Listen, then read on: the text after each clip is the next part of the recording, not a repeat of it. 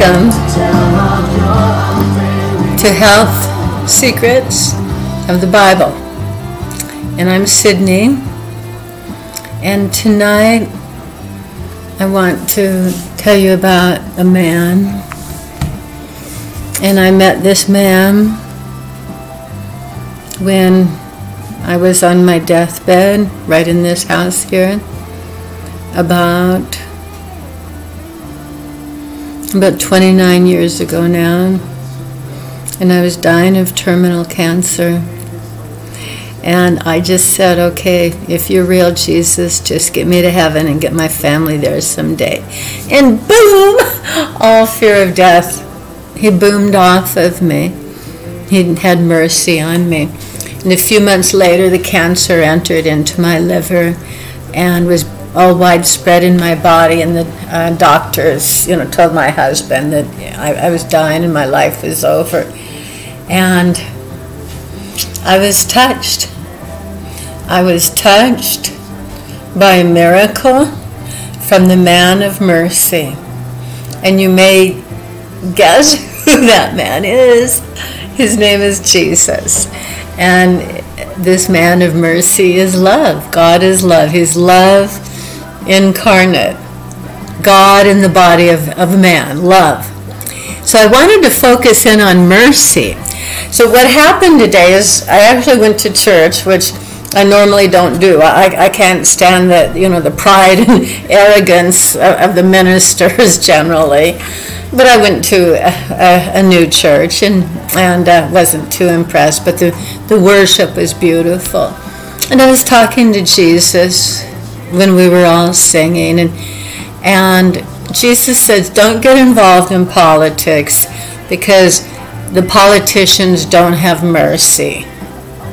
He said no that that I'm a person of mercy, Jesus is a person of mercy and that just be uh, for Jesus. So just be for Jesus. He's a man of mercy. And the politicians, I'm afraid they really lack mercy bad, and we can see that. Everybody's betraying Trump right now, our president. But anyway, I don't. I, I, digress. I don't want to talk about that. I want to talk about the mercy of Jesus. I once heard Chuck Missler say what mercy and grace are. He says let's see, grace, that's the goodness that flows from God. Grace is getting, let's see, grace is getting what we don't deserve. In other words, all the goodness that comes from God.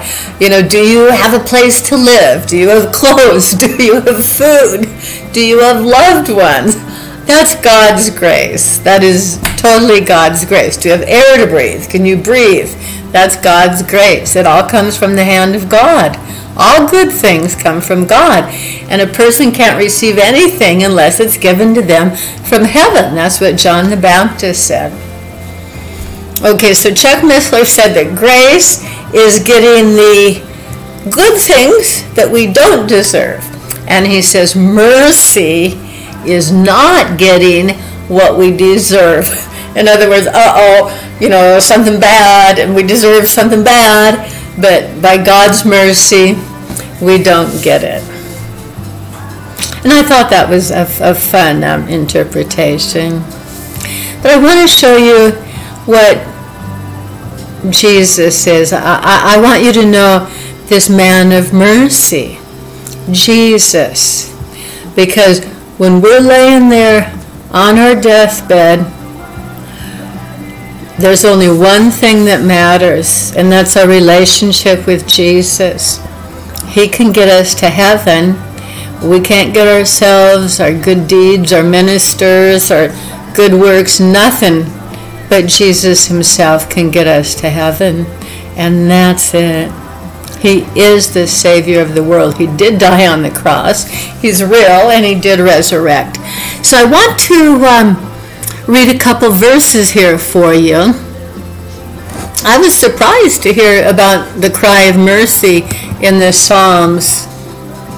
Okay, this is Psalm 51 1. And this is the uh, New Living Translation.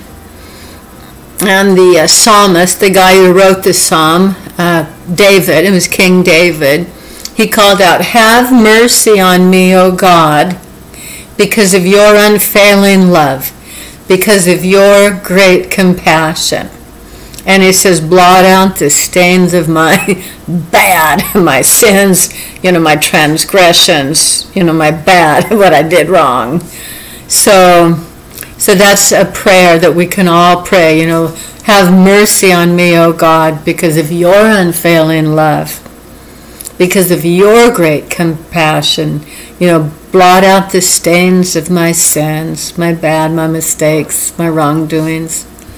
So I pray that prayer over you. The same prayer that King David prayed, I pray for you in the name of Jesus. That Lord Jesus, right now, you have mercy on the viewer because you have steadfast love and you are abundant in mercy and blot out all of their mistakes. In Jesus' name I pray. Amen. Well, thank you so much. It's been great.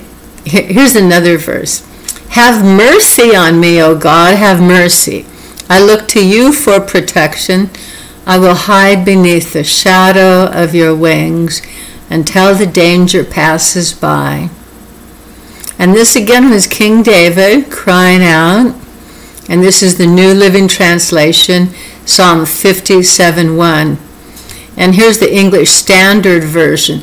Be merciful to me, O God, be merciful to me, for in you my soul seeks refuge.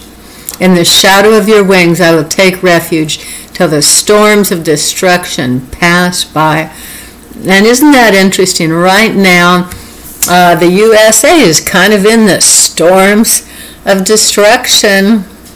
Yep, the vote was stolen from the people and none of the uh, politicians, the proud, pompous political pretenders, are uh, doing anything about it. Hmm, their hearts are being revealed. So basically, we're uh, actually in a time of danger.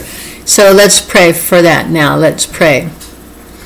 Okay, so I'll pray for you. Okay, right now, Jesus, God, have mercy on the viewer, Oh God, have mercy. We look to you for protection. We will hide beneath the shadow of your wings or your refuge until the danger passes by in the name of Jesus. Okay, so we've prayed for this time. And there's a verse in Scripture that says the overwhelming victory is ours in Christ Jesus. God is a merciful God. God loves you. Jesus loves you. Okay, so there's our prayer for you during this time. Never, ever give up faith. Jesus loves you. Okay, good night.